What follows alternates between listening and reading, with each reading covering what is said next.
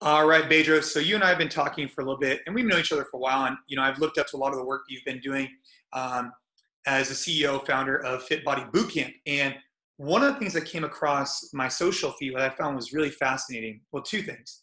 The first thing was that you were on Fox News a few times, which is great that you have that voice to be able to share your perspective from a boutique fitness um, owner. Because I think when people think about gyms, they think about you know big box gyms and not the boutique guys and they're they should be probably treated differently and i, I assume you agree but i wanted to um, dive into something you said that you are going to open your locations on june 1st so tell me more about that because according to what i've read studied whatever in the state of california at least um, we are uneligible to open until phase three which is not probably going to be june 1st so let's start there man and, yeah. and thanks for taking the time to talk to me Absolutely. And by the way, I'm a big fan of yours as well. And so it's great that we got to connect and have coffee uh, a couple months ago before this whole thing went down. Because um, now we're connecting via Zoom. But dude, um, so, so, I should I should say this that one, I'm absolutely on board with you. Like big box gyms and boutique gyms, very different. Like the reality is, and if anyone watching this, they can go to fitbodybootcamp.com and and and click on the letter from the CEO. And in that letter, there's a link to our 25 page fit body reopening protocol that any boutique gym can use. And it doesn't matter if they run a kind of a cross training type facility or boot camp or any kind of group training program. We completely outlined the system where you can sanitize people outside, including the bottoms of their shoes, bring them into eight by eight squares that are taped off. Their equipment is in there, so there is no rotation, there is no cross contamination of equipment. Everybody, we call it the train in place uh, modalities. And so, like, you could do that in a boutique gym like yours and mine a big box gym like LA Fitness, Equinox, 24 Hour Fitness, people go in there and they're going to do bench press and then their flies and then they're going to go to dips and whatever. And then the next guy or gal is going to come and touch that. And no matter how much you wipe it off, there is still a likelihood of cross contamination. So when you look at all the boutique gyms like us, whether personal training studios, cross training gyms, boot camps, we must be differentiated from the big box gym, number one. Number two, the reason I decided to kind of plant my flag and say we are going back into business on June 1st is I did my research first because I realized, like I was telling you before we started recording, uh, you and I have got a social responsibility. Anyone that's got a following in an industry has a social responsibility, and you can't be careless about it and go, "Hey, I think we should all buy guns and kill people," or "I think we should all whatever." Right? drink. Right. And for the record, I'm pro gun, so I don't want people sending me messages talking about Second Amendment. I'm all about the Second Amendment. Um, I just use that as an example. And and so I did the research and I figured out one thing, Jason, and it's this: that already states like Utah and Georgia and Colorado opened up and they ran like Fit Body Bootcamp locations as well as other boutique gyms. They ran their facilities and the COVID virus didn't spike up. So the precautions they took worked. So, one, there's already proof that being cautious and taking precautions helps. Number one. Number two, as I looked at all the states that are about to open and all the states that, that said, hey, we're not going to open gyms until phase three and phase four, which is like mid to late summer. Right. I'm like, holy cow, why do these things line up with Democrat and Republican? Check this out all but one state. See, I'm the kind of guy, I'm a little paranoid, so I do research first before I open my big trap and tell everybody on Fox News and CNN and social media that I'm opening up all fit body locations across Canada and US. That's like 700 some odd locations. Like that's a big bite of an apple. Um, and so I did my research. I'm like, all but one state are Democratic that said we're not going to open up all the states that have opened up gyms, uh, studio, personal training studios, uh, tanning salons are Republican leaning. Now, I'm a free market capitalist. I'm a libertarian, and I'm all about let's run the country by the Constitution. I don't like Democrats. I don't like Republicans because they both are agenda driven and they put the people last, period. I also moved to the United States from a communist country and we escaped communism, which is currently what's happening here, for the fact that we want freedom and we want to be able to run a business. And so I know I, I understand why my dad brought us here and risked his life. And so to me, I have a bigger responsibility than just. So when I look and I see, wait, there's some kind of political stuff being played. And as I was telling you before we started recording, if this was a true panicky pandemic with real death rates that were mass that weren't exaggerated, which I believe they are, then the president would never say, "Hey, look, every Democrat or every uh, governor, decide, why don't you guys decide how you're going to run your state?" The president would be like, "Look, we're putting military on the streets. Everybody stay inside. Here's the only people that can go outside and get their groceries. Period. End of story. That's it. We're arresting you." And I would be the first person to be like, "Holy hell, guys, stay inside. Do not come out unless you need food and water." Right? But the reality is, when the buck is passed down to governors that tells me this isn't that big a deal. Otherwise, the actual leader of our country would do something about it. Number two, why are we going into grocery stores and touching apples and oranges and bananas and gallons of milk and then putting them back and the next guy touches it, etc.? If this was a real thing that could spread, why aren't we driving up and someone in a hazmat suit showing up and saying, "Here's your apples and oranges, Jason"? Right. Right. So those two things, plus the fact that the states that are closed and the states that are open are leaning Democratic and Republican, tells me that there's a political agenda in a voting year in a, in a voting year, and their political agenda trumps the people's desire to work. And that is where I draw the line.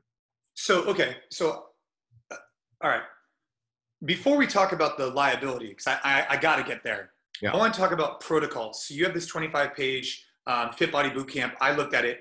One of the pieces that I thought was interesting. So, one of the reasons why for us at NC Fit, we haven't purchased any um, misters or uh, you know, uh, cleaning supplies, even for that matter, is that we don't know what the government's going to mandate as acceptable or not. Now, the CDC put out something about the bleach and the water. I get that, right?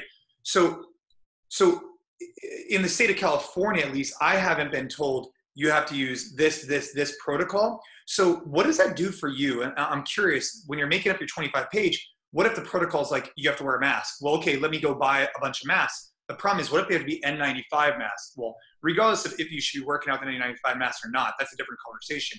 If you went out and bought a thousand cloth masks for your members, but now they require N95, are you just out money? So what what criteria are you going off of to determine your 25 page plan? And then secondly, I want to dive into cleaning the shoes because you're the first person I've seen that's talked about that. Touchless stuff, Purell, I get it. Like that's pretty standard. Even the misters, I get it cleaning between classes, I get it. But let's talk about the shoes and then talk about where you actually came up with those protocols for in your mind and why they're uh, bleach and not uh, Clorox wipes. Sure, sure. So I'm really glad you asked that too. And all gym owners should know where this is all coming from. Um, so first of all, we sent the 25-page protocol to the Center of Disease Control uh, COVID-19 virus task force. We sent it to the White House and we sent it to Governor Newsom's office because we're obviously a California-based corporation, although we have franchise locations throughout Canada and U.S. Um, we sent it to them not to get their approval, but hey, here's a review. If you have any feedback, please give it to us. No one said anything. But the reason I came up with the 25-page protocol is because all these states were saying, hey, uh, like Atlanta and Colorado, uh, Alaska, Utah were saying, all right, gyms can open and they have to use social distancing and sanitization process. But no one, not the CDC, not the World Health Organization, was coming out with a protocol, which, by the way, again, told me that maybe this is not so serious if you're not giving us a protocol. Right. Right, because right? you see what I'm saying, right? Is that you can say, "Oh, you need social distance," but like, well, you got to tell me what you want. Just keeping right. it clean doesn't doesn't. What, what does that mean? Keeping it clean to you might be totally different than it is for me. Exactly. So I decided that we're going to go overboard in keeping it clean because I'd rather err on the side of caution and keep our businesses open and serving our clients and communities. Because again, we have a social responsibility. I told every fit body owner, I'm like, look, guys, you're mandated to follow this 25 page protocol. I'm going all over the news saying this is what every fit body follows. If news van shows up at your studio and sees that you are not spraying down the bottoms of shoes with bleach and, and, and water dilution, that's your fault, not mine. You know, like I want them to know. Now, there's no CDC thing saying that you need to do that. I wanted to go above and beyond. I wanted to go beyond what they would expect so that there's never a doubt that, hey, Bedros, who says that he's opening up all his locations June 1st, and I'm encouraging every brand, your brand, Orangetheory, F45. I, I, I said in all my posts and all my um, uh, newscasts that if you are a privately owned gym, a personal training studio, a group training program or franchise, jump on board with our movement, but follow our protocol. Here it is. I'm giving it to everyone. And the protocol also even has a waiver in it that your clients could sign that God forbid someone might come in here with with uh, the COVID-19 virus and I might get it. Right. So we took care of like I, I spent thousands of dollars with my attorneys and I'm giving that protocol away. But I'm doing that because no one's giving it to us, Jason. No one's giving it to us. So I wanted to overextend myself and do that so that no one can point to any fitness center, not just the Fit Body Boot Camp. They can't point to yours, mine, or anyone else's and say it was because of them and the way they ran it that the virus spread again. And so hopefully it won't spread. We've seen this with four states already that they're able to open and keep it running. Now, why did we choose also spray down the bottoms of their shoes? Simple. We do the 100 ounces of water to one ounce of bleach. Make sure that the CDC recommends because shoes typically bring 80% of germs, bacteria, and viruses into a gym environment, especially in an environment like ours, yours and mine, boutique facilities where people might be doing uh, battle ropes or kettlebell swings, but the next minute they're doing planks and burpees where their hands are touching the ground.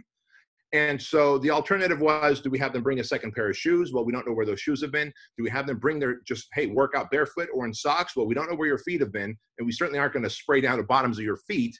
So we went with, all right, we're going to have them spray down the bottoms of their shoes and in the eight by eight train in place um, box that they're they're given on the ground, they need to bring a beach towel so they can put all their, their sweat goes on the towel and their sweat goes home with them and doesn't just stay on the mats. Of course, then we sanitize the entire facility and then run the next class.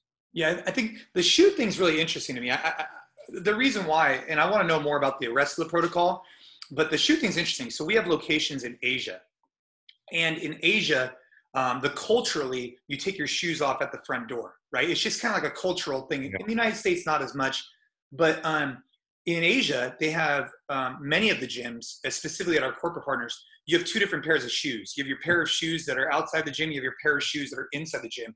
Very interesting the way that culturally it is, right? Where they have a separate pair of shoes. Um, now, this is also at a corporate environment, so it might be a little bit different, but it just goes to show that, especially in the Asian cultures, everybody that I've seen takes their shoes off at the front door and they go into the house. Now, when my daughter got sick with leukemia, one of the big things that we had, we had Purell like we had Purell basically baths before you came in, right? right? But one of the other things that we did when people came into the hospital room or um, came to our house, we'd ask them to take their shoes off, um, and we'd really make, do a good job of cleaning the floors because, you know, what you said just seems like common sense. Like you're outside doing whatever you're doing, right?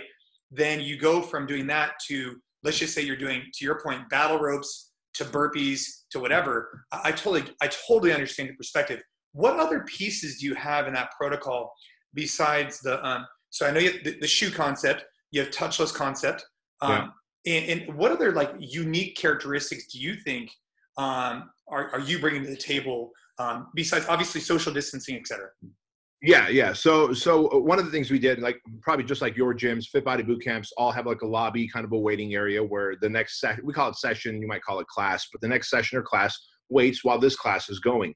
Now we've actually outlined an area, holding stall, if you will, outside in the parking lot or on the sidewalk, six feet apart, where people can wait outside. The door's not even, uh, the door is closed by the coach and opened by the coach only. The door is then opened, everybody leaves, and then the next group sanitizes while they're outside. They sanitize, we spray the bottoms of their feet, they wipe the bottoms of their feet on a thick uh, pad, and then they walk in. And so there's never people even because you look at a doorway, it's three and a half feet wide. If people pass through, you just broke the social distancing rule. And that's what's happening, by the way, grocery stores all day long. When they're like, hey, six feet apart, but you go into an aisle, there's no way you could be six feet apart and you're just bumping into each other. And so I decided we're going to go above and beyond so that if any news van comes to any Fit Body Boot Camp or any gym that's running the Fit Body reopening protocol, there's no way that clients, if you're running it right, there's no way clients are ever coming in contact, talking to each other. Um, and if they are, they're talking to each other from afar. Uh, there's no high fiving. So we've got this thing at the end of every workout. We bring it in and break it down where everyone puts their hands together and then we break it down. I'm like, guys, we're not doing that right now. Everyone's working out in an eight by eight, one spot with two pieces of equipment, and that's it. That's what you work out with and your body weight. The equipment sanitized right after the workout. And so we've created that product protocol plus a release, right? Like I said, every uh, coach has to sign a release that I do realize that I'm running this workout in a facility that might have COVID 19 or a client might have one. The coaches will have masks on because they're going to be yelling, screaming, and Okay. there's absolutely a chance of your coaches, ex- you know, throwing droplets. Right, right, right. And, and so I got I got to ask you. So, okay, and now let's uh, now that there's some nitty gritty questions I'm really curious about with you, and there's really three. Number one, let's start here. Risk and liability. Okay, so we if someone comes into our gym right now and uh, or someone comes into your gym June 1st and you you have your current insurance rider and your current insurance policy or umbrella policy, you name it. But if you're not legally allowed to open, regardless of if big box gyms and small gyms should be, cons- I mean, I'm in agreement with you on everything, right? They, they should be different criteria. But the fact of the matter is, as of right now, we are all landing in the same boat, right? So if you do open and something happens, what happens if your insurance won't cover you? and it likely won't. And that that's the scary thing. It like it. Look, it likely won't. I love it, man. No, I love it because you're not beating around the bush, right? Yeah. And but I'm gonna I'm gonna ask you this, and I know we're on the same page, but let's just pontificate for a moment. I'm gonna ask Sure. you this: What happens if you don't open, and this shelter in place goes on for another three months?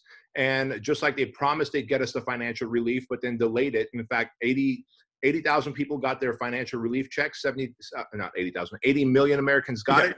70 millions have not gotten it yet. Uh, and so what? Ha- like the government? Remember, uh, let me ask you a question, Jason. Are you in business for a profit or just to break even? Oh, come on, a profit, of course. right? So is everybody watching and listening to this. Well, the government didn't say, "Hey, Bedros, I'm going to send you a PPP check the size of your last month's profit." They just said "J- enough to stay afloat. I'm not in fucking business to stay afloat. I'm in business to make a profit. I got to donate to Shriners Children's Hospital, Toys for Tots, Compassion International. I donate seven figures every year. And Jason, I can't donate that money if they're just giving me enough to break even. And how do they know what break even is? because they don't know if my landlord is going to start my rent back up. They only gave me two months of rent on this $17,000 a month building. That was it. I only got a two month break. And so my rent kicked up again. Well, I haven't gotten anything yet, by the way. there you go. There you go. Yeah. Right. And, and so when I say that, it's, it's not, it's, the alternative is what? I'd rather be able to go back to business, make money, and God forbid someone, something happens to someone, the insurance isn't going to pay. I'll take that risk over the risk of losing my business and going broke and then going, oh, well, I guess the government couldn't keep up. Sorry. That's so I, I really appreciate what you just said because you're to your point, you're manning up to um to what to what's to what you're you're talking about because you you understand there's and I, I say this to everybody every owner needs to weigh out their risk and li- their their risk right? Hey what is your appetite here? Like if you're going to go out of business either way you might as well go this path or maybe you have a strong cash flow you have a digital product whatever maybe you go this way. So i appreciate what you just said because um, i think everybody needs to take that into their own consideration and be a be a owner about it and make their decision but knowing knowing the risk on both sides right Yeah. Um, and, and, to that point, I told every fit body owner, I said, I'm encouraging all of you to open up, but I'm also not going to pay your fines, your citations, your whatever, because part of this is for us to make a stand. And if you're not willing to do that, I love you, I respect you, and I'm okay with it. Stay shut, and that's okay too. Wait for your state to give you the green light, but just know that might take a while. Sure, uh, agreed. Um, the second thing I want to ask you about is the vibe, right? And this is I'm, I'm super curious about this because look, waiting outside, coming in. Actually, this is a two part question. Number one is the vibe of having a coach with a mask on, right? Being super super sterile environment where you used to go in and you know chest bumps, high fives, whatever. Now all of a sudden you're coming in and and the equation I've made and, and I'm sure you you know you used to go to fine dining, so did I. What you know if you went back into your favorite restaurant, but there's half as many people, the waiters are wearing masks, and the vibe is off. Would you rather just do takeout, or would you, or would you, if you're a few bad experiences away at that restaurant from maybe never coming back? So my question for you is twofold, or actually it's, it's all one. If, if, someone comes in and they have a vibe that's kind of like a little sterile, not what they are used to, are you afraid they're going to come in one, two, three times and then be like, dude, you know what, man? Bedros, this isn't the same fit body boot camp I was used to. I'm just going to go ahead and put my membership or whereas if you waited another month for public perception regulations to change whatever would you be in a better position I, I'm, I'm curious Yeah, well, again, uh, I, I think I have a unique, I have a unique perspective that most people don't because as a franchise, we get to see all the numbers, right, from every location across two countries. And so what we found was after week number three of quarantine, every week that went by, there was a 3% increase in cancellations and, and, and uh, freezes. Fair enough. So start doing the math. How many 3% is it going to take before you're completely canceled and froze everybody and you're done? And no one's doing online coaching and any of that stuff. Right now, the average location is around 33 to 36% of less revenue, making less revenue. And if this continues on again, it's going to get to obviously 60, 70%, and then it's over. And so at some point, you have to be willing to take that risk. And now, what we've done, make no mistake about it, we've already started to prep our clients by saying, hey guys, it's going to be a new normal for a temporary period of time. We're guessing that somewhere between four to six weeks, if we don't see the virus spiking in our facility in our community, then we're going to loosen up and go back to a normal facility. But until then, please be aware we'll have music, but we won't have high fives. Some of us will have masks on, some of us won't. We won't be doing the four station rotation like we normally do. We'll be training in place. So when you set the expectations for your clients, like anything else, you know, I coach a lot of businesses and entrepreneurs and whatever. And I set the expectation look, we're going to meet twice in a year in person, and then we do 12 monthly phone coaching calls. This way they know we're not going to meet every month. You're not going to blow my phone up every time you get this whim of an idea because I would need to charge you a million dollars and not just $50,000 for the year of coaching, right? So setting expectations for my coaching clients keeps them on track. Setting expectations for our clients and gyms keeps them on track as well. Where, okay, I'm going to come into FitBody. There's a new process. So we even wrote the emails for them. I don't, the only thing we left out of those, that 25 page protocol for our FitBody owners, it's actually 29 pages because we said, here's the two emails uh, you're going to send out to your clients to kind of set the narrative of what to expect, how long to expect that for, why we're doing right. it. So the expectations are set. But yeah, there is definitely a concern, Jason, of like, oh shit, what if they come three, four, five times, like the restaurant example you gave, and they're like, you know, it's probably better to just do takeout. Um, but we got to do something because no one's doing it for us, man. And, and, and, so yeah and this is by the way I, I love this type of conversation because it's really interesting to to see the, the the way you think about it right? Um, and so on that same note my, my final piece to this is the financial side. So look we're seeing a 3% drops and this and that. And I, I appreciate your numbers because i talk to a lot of gym owners and we have a lot that are part of our network. And you talk to some people in the CrossFit space in particular, and there's people that are saying, "Hey, our membership is still strong, still strong." And I think one of the reasons is that you know most of these guys have 100 members. They they're Zoom calling with them on a regular basis, and those members really feel like, "Hey, the hundred dollars I'm giving you or whatever is going directly to pay your bills," and so you have good um, kind of like this goodwill from the members. If you, but once your membership base passes two, three hundred people or whatever it is, it, it kind of changes the dynamic a little bit. And so I understand why you you've seen the numbers, and, and same with us, right? We've seen the same thing. Now I want to talk about um, from a revenue perspective. Your your previous Fit Body Bootcamp classes, let's just say, average uh, 15 to 20 people. Let's just say, right? Or what what did they average? 30 to 35. 30 to 35. Okay, great, right? Now the average is going to have to average what? 10 to 15? 15 if we're lucky. Right. So, from a financial perspective, my question for you, and this is, I'm asking the same thing for us, by the way, yeah. Is we're going back to our landlords. We're looking to readjust the, the rent because I mean, we spend a lot of money on rent. And at some point, we, we sign that lease predicated on, oh, this amount of people, this many square feet, this many hours, whatever, just like you guys do. So, if you're dividing your, your, your, your, your membership in half, how are you going to accommodate if you were at capacity? And then, if, and then, secondly, if you have 15 people class instead of 30, how do you pay the bills and create profitability?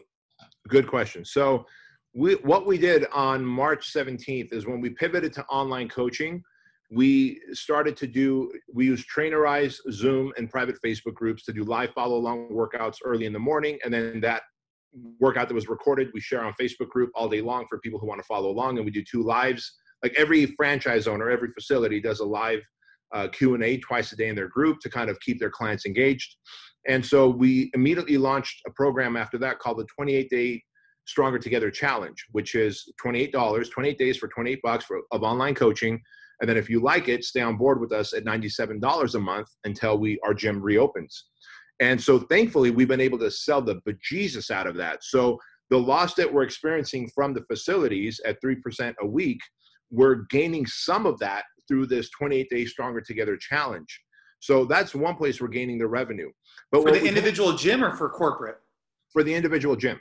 Okay. Yeah, yeah. So everything we do at corporate, we do it for our franchisees, right? Got it. And as long as they're paying our franchise fees, we're good here at corporate, and so we're serving them. Yeah. And so uh, what we told our owners were look, look, when you open your facility and you've got eight by eight taped off and you're maybe training 10 to 12 people at a time, there's no way you're going to be able to get to all your clients. So you're probably going to need to tell them, hey, you're going to be twice a week in facility, twice a week online, doing a hybrid. So we're going from all online to hybrid to then eventually offline once people feel comfortable and we can take the tape off and bring more bodies in. And I said, where your profit margins are concerned, your profit margins are going to take a dip because the extra cleaning solution, the extra clean time in labor, right? And then the lack of bodies in there per session or class are actually going to eat away at profits. But we have to take that step back in order to be able to take the steps forward and ultimately opening up. And so part of it is almost like, you know, when you take your kid to the doctor, you're like, honey, you're going to get your, uh, they're going to put a needle, they're going to give you a shot. It's the vaccine that you need because you're four years old. It's right. going to hurt, but then you're never, suck. Yeah, but yeah. you're not going to have the chicken pox, right? Right, right, right. And so you got to take a little bit of that pain. And so I've always found that when I'm open, honest in my communication with my franchisees, and I talk to them three times a week via Facebook Live in a private Facebook group, Monday, Wednesday, Friday at 12 noon. Um, look, man, they were scared, they were uncertain, there was some doubt, there was even some pushback.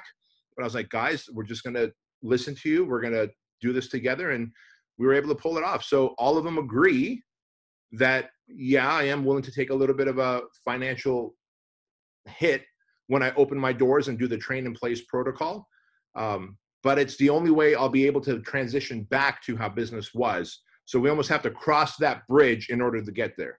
Yeah, I love. No, and dude, it's it's very refreshing for me because I mean, obviously, the things that I'm speaking to you about, I've been thinking the exact same way. We we are in the Bay Area. We have very very expensive rents, and um, we can't assume. And and one of the things that I'm worried about, and I mean, it sounds like you you have your protocols in place. One of the challenges that I'm running into with the boutique fitness space is that some of these guys that are rushing to reopen, I don't know if they fully understand the cost of cleaning the and some of your negotiating power with your with your landlord right um, might go away right so for us you know we haven't gone we're, we're negotiating with our landlords to say hey when we reopen, if you reopen, you might lose the opportunity to negotiate, right? So you have to do that before you reopen. So what, right, and can I actually share our strategy? No, hell yeah, that's what I want to talk about. Yeah, let's go. so, so that that is one of the beauties that we have here as a, as a franchise. But I'll be more than happy to share it with anyone watching this as well. Before you reopen, so we always tell our fit body owners, which is why I told them June first and not like hey tomorrow, right? and here we are. Today is June. Uh, sorry, today is May fifteenth or something. Fifteenth. So they have two weeks. I said, guys, you're going to go tell them that hey, if I continue to stay shut, um, I may never have to. I may never reopen, and I may have to shut down and never pay you rent again. So we've decided as a franchise to open up June 1st, but because of my higher cleaning cost, payroll, and a much smaller number of clientele per class, I'm going to make less money. So, Mr. Landlord, when I open up, I need you to charge me less per rent. How about half? And so we're teaching them how to negotiate. We crafted a letter for them to give to their landlords so that they can have that dialogue ahead of time because the last thing we need is for the landlord to go, well, now you got to pay full rent while you have less clients and higher expenses. That's that's a that's the kiss of death. Yeah, uh, exactly. So what we the recommendation we've been providing is, hey, have your P&L ready be able to explain to them, hey, look at this, look at this decrease in rep. Like actually have like quantifiable. Any landlord's gonna be able to look at it. Dude, you're a service-based business. You can't service as many people. Your revenue potential has gone down. Like it's it's black and white, right? I mean, exactly. restaurants and gyms are gonna be in the exact same situation. Um, airlines are going to be in a really unique situation as well. And so moving forward, um, you're you're negotiating your landlords, you're reopening, you're trying to get this kind of like 50-50 model where you're in the gym, outside the gym. Um, what would you say to business owners? Uh, you know, Fit Body's a brick and mortar. Uh, what would you say to a gym owner who wants to be brick and mortar but then completely pivot to only like how much digital is too much? And then all of a sudden you, you're so focused over here that once your brick and mortar reopens, now you're one foot in, one foot out, or even worse, you've been an operator for a decade brick and mortar. And then all of a sudden you became a digital operator because of necessity. But now if you shift here too far, you may be you know, one foot in, one foot out on both of the things, and you have no expertise in this digital area compared to where we were in brick and mortar, and vice versa. If you're a digital business, it's hard to go back here. So, how do people balance that? Because I'm sure you've seen this when we've tried to incorporate personal training. It's challenging because our trainers aren't as it, it's not built into the business model as much. They're more of a group style training. So, what does that look like for you? Yeah. So that that's a really good question. And so one thing we did when this whole kind of shelter in place thing started and we weren't able to train clients in facility was I said, guys, we're going all in on on online coaching. Like we have to, we're going to drink from the fire hydrant. And thankfully, I've got gr- great access. Many of my coaching clients are guys like Devin Physique and Tony Stefan, who've got thousands of online coaching clients. And so I reached out to them. I'm like, hey, what is the best modalities that you're using? Wes Watson, for example. And so we just went to the best who are doing online coaching and then we created our own online coaching platform because of it we used the last eight weeks to become experts at it and not only servicing our clients but also marketing and selling it because as you know selling face to face gym memberships or you know group training personal training is different than over the phone or online so we had to teach our franchisees that as well and i said guys get really good at it because when the doors open we're now going to keep that as a secondary income stream for you and so we are keeping it as a secondary income stream. I would highly encourage every other gym to do that as well, because we will have more situations like this where two flu seasons from now, which could be in 2022, another COVID type thing happens. See, once once you've gone down that road of shutting down businesses, now it's going to be a thing. Just like once the airplanes hit the World Trade Centers, people were trying to light their fucking shoes on fire to blow up an airplane. They were trying to take baby formula that was like nitroglycerin. Like now, crazy type of terrorist attacks took place. And so now the very extreme uh, correlation, yeah. but uh, yeah, but it's true. It, it, yeah. It's true. Yeah, yeah. and, and, and, I am an extreme person, by the way. So as if you didn't know, but yeah. So um, th- that said, I told all of our owners we may have to shut down our doors again. So you're going to have to pivot back to online coaching, but create that as a secondary income stream. And then with all business, it's about the three P's the people, the product, and the processes. So we've got great people running Fit Body Bootcamp gyms, and I'm sure you have with your gyms. The product has to be solid, like they have to deliver a product that people want to be evangelical about and talk about and tell their friends about. And then you have to have a process. And so we said, all right, now that we have we have facility leaders, we have front desk reps, we have accountability coaches, like we have all these different roles in a fit body. We now have our online coaches. And so we created the online coaching platform. We have online coaches. That one coach's responsibility is to run the online platform piece because if you have a client, the spouse loses their job, now they say, "Hey, I can't afford to pay $180 a month." Great, can you pay 77 a month and do the online version? Yes, I can. Now we have a downsell. And so we created that thing and it's going to stick for us. And I would highly recommend that every gym owner creates online coaching as a secondary income stream moving forward.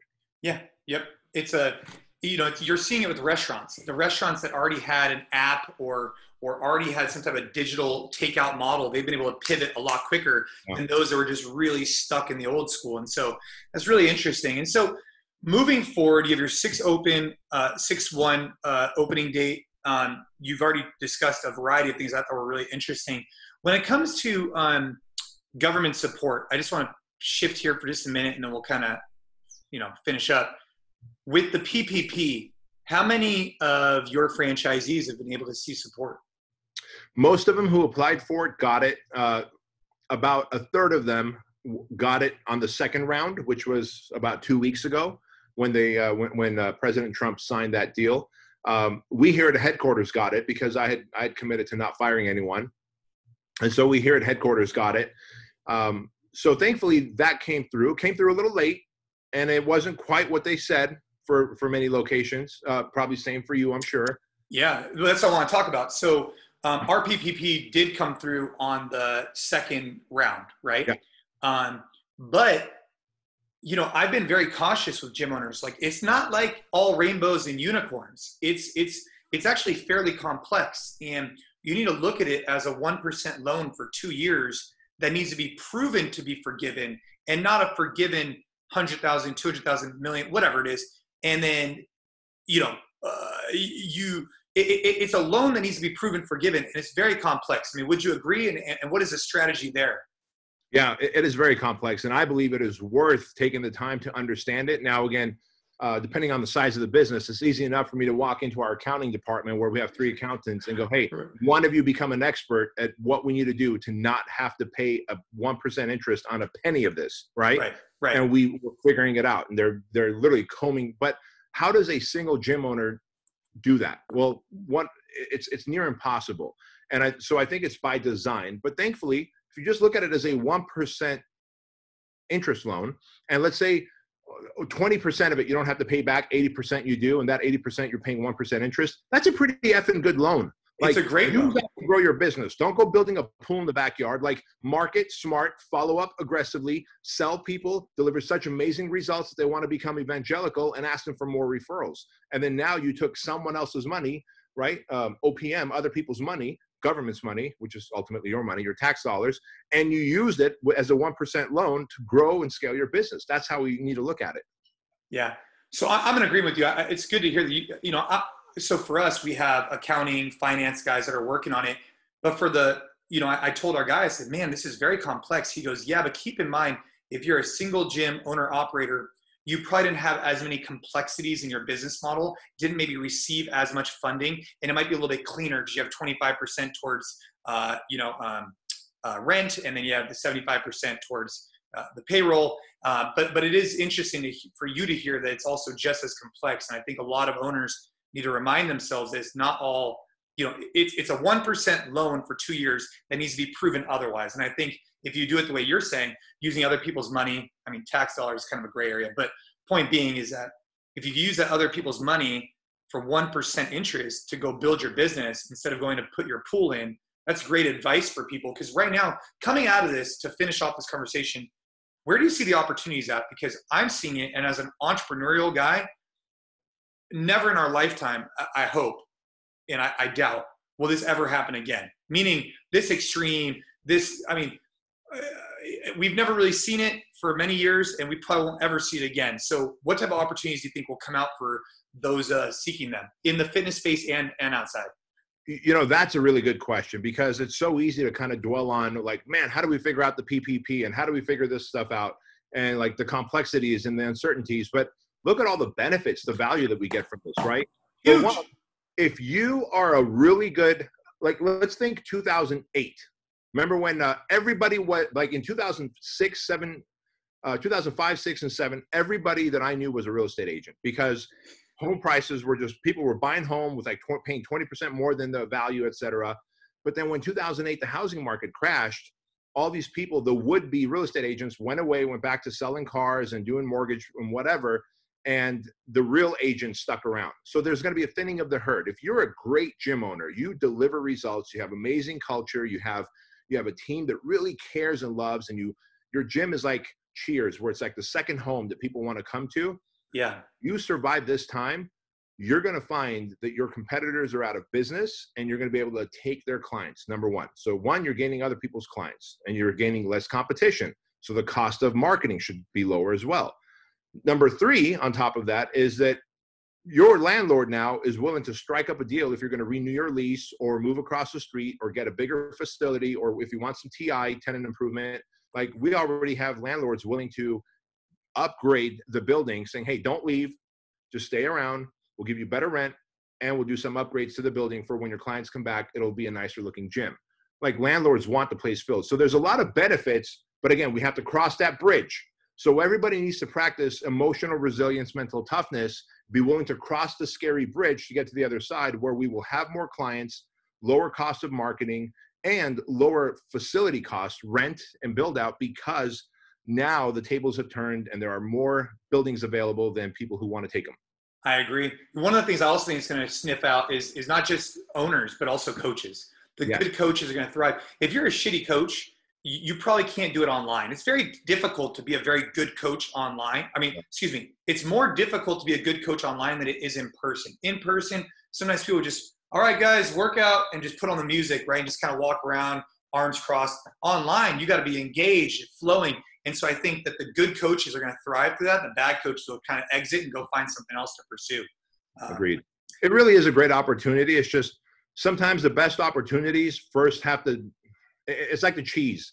uh, it's the medicine wrapped in cheese. You, you got to take the medicine, and you're gonna have to eat, you're gonna eat the cheese because it tastes good, but it's gonna have to be some medicine first. And so we we have to take the medicine to get to the cheese. I've never heard the cheese analogy. Uh, maybe pudding or something. But all right.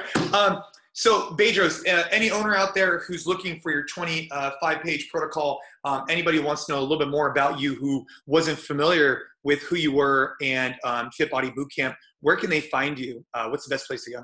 Yeah, good place. So uh, if anyone wants to go and get the protocol, they're more than welcome to use it. Just don't don't knock it off and, and take credit for it. If you're going to give credit, give credit where credit's due. Fitbodybootcamp.com. You'll find there. You'll find it there. Um, and then if you want to learn more about me and follow me, just follow me on Instagram at Bedros Keuilian. All right, and we'll uh, we'll show those. Um, we'll put those notes in the um, in the the podcast as well. Well, thank you so much for being with us on the business of fitness, and uh, I'll chat with you soon, brother. Thank you, Jason. Appreciate it, man.